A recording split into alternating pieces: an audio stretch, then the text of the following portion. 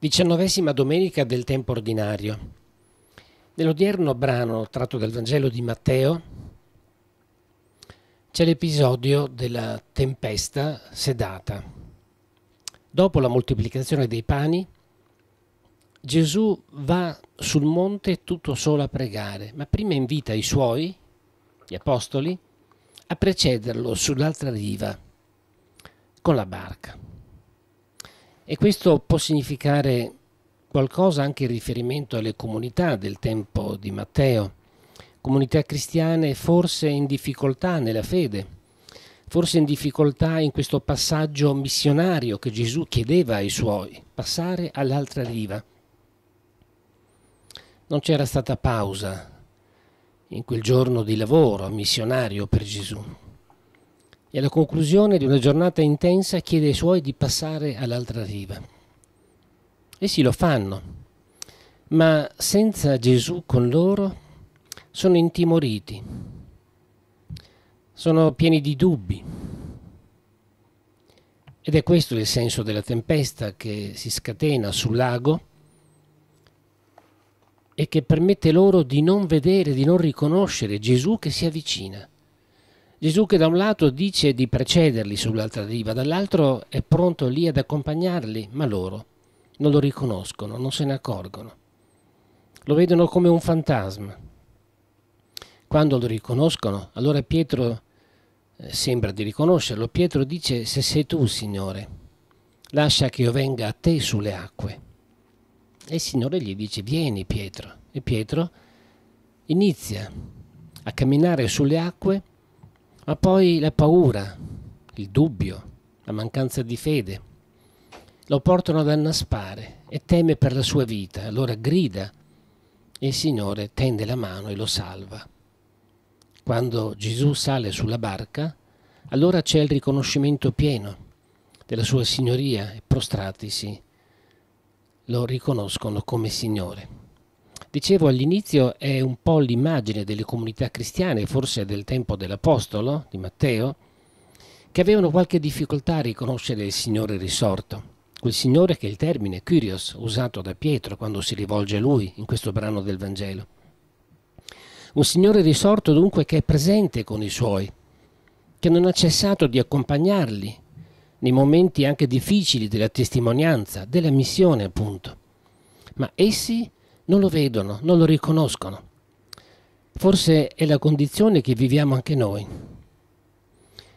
Forse la nostra titubanza nella missione, a cui il Papa ci ha richiamato invece con freschezza e con vigore nell'esortazione Evangeli Gaudium, la gioia del Vangelo.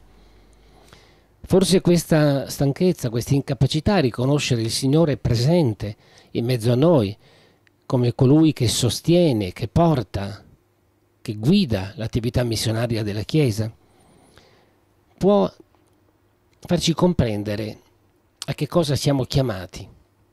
In un momento che può apparire di tempesta, sì, tempesta del dubbio, tempesta della tiepidezza, tempesta degli attacchi anche alla fede e non soltanto quelli delle persecuzioni così evidenti in queste settimane in tanti paesi contro i cristiani, vengono cancellati i segni della presenza cristiana, vengono distrutte le chiese, vengono minacciati di morte, lasciati partire senza i propri beni dalle loro case.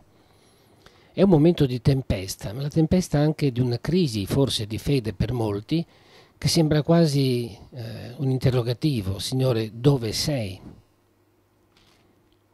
E nel momento della tempesta nel Vangelo Gesù appare, sembra un fantasma, in realtà è il risorto, è colui, il Vangelo è un racconto che avviene ben prima della risurrezione, ma per noi oggi possiamo vedere in queste immagini di Gesù che cammina sulle acque il risorto che entra nelle nostre storie così difficili, così sofferte, così dubbiose, appunto, per donare un nuovo vigore di fede. Pietro, perché hai dubitato, uomo di poca fede? E questo sembra un monito per tutti noi, un interrogativo e un monito. Perché hai dubitato? Perché sei così debole nella fede? Ci sono nostri fratelli e sorelle nella fede che sono oggi ben più forti di noi, perché là dove rischiano la vita per il Vangelo, per Gesù Cristo, testimoniano in questo modo che la loro fede è ancora vigorosa, accettano il rischio della morte pur di riconoscere il Signore Gesù come Signore della loro vita. Per questo possiamo domandarci che ne è stato del nostro battesimo, che ne è della nostra fede. La domanda di Gesù, perché hai dubitato, uomo di poca fede, ci coinvolge, ci riguarda pieno. Del resto, il non riconoscere Gesù che compare o il vederlo come un fantasma è forse una tentazione, un rischio di sempre nella visione di Dio, nel modo di interpretare Dio. È quello che accade anche al profeta Elia.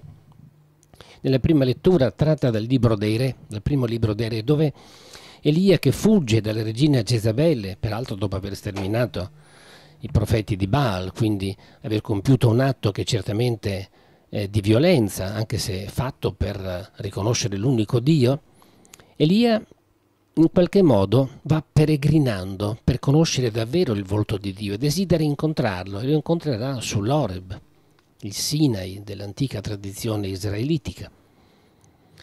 Ma non è quello che lui si aspetta, lo cerca nel terremoto, nel tuono, nel fulmine, nella tempesta. Dio invece si fa presente in una brezza leggera. È allora che il profeta si copre il volto perché è noto che non si può stare alla presenza di Dio senza rischiare la morte.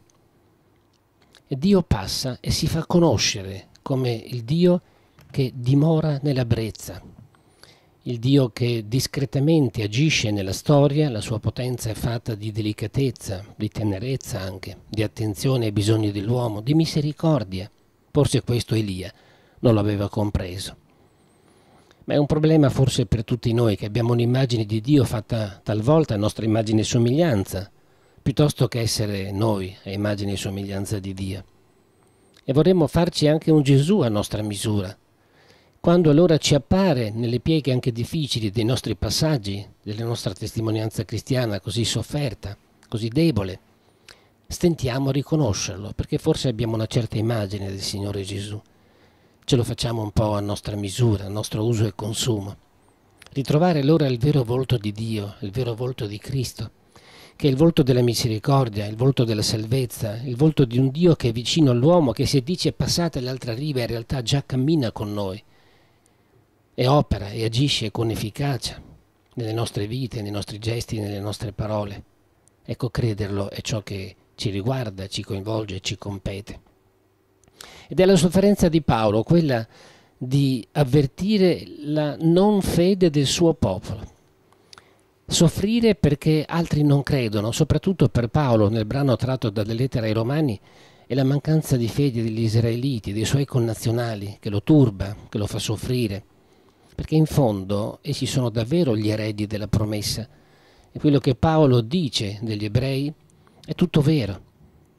Ad essi è spettata l'adozione a figli, i profeti, i patriarchi, il culto, ma soprattutto di generare Cristo secondo la carne. Per loro dunque Paolo vorrebbe diventare addirittura escluso dalla salvezza, anatema, come lui dice, separato, purché i suoi invece si avvicinino a Cristo e lo riconoscano come Signore.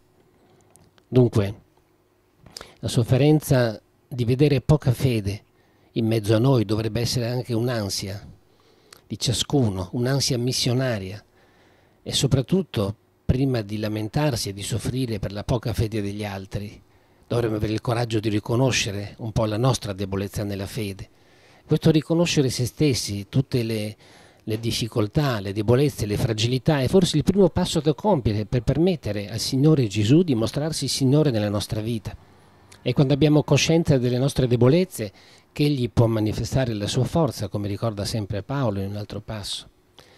Dunque, la tempesta della nostra vita, la tempesta di questo tempo della storia, così evidente qualche volta da scoraggiarci, da lasciarci senza respiro, senza energie, può essere invece il luogo dove Dio passa, dove Gesù entra come colui che svela il cuore di Dio, la misericordia, il disegno di salvezza e che dice a ciascuno di noi non temere, come Pietro, non avere paura. Questa parola, non temere, è la parola del risorto che ha vinto la morte, che ha vinto dunque la paura e che ci accompagna in ogni momento dell'esistenza.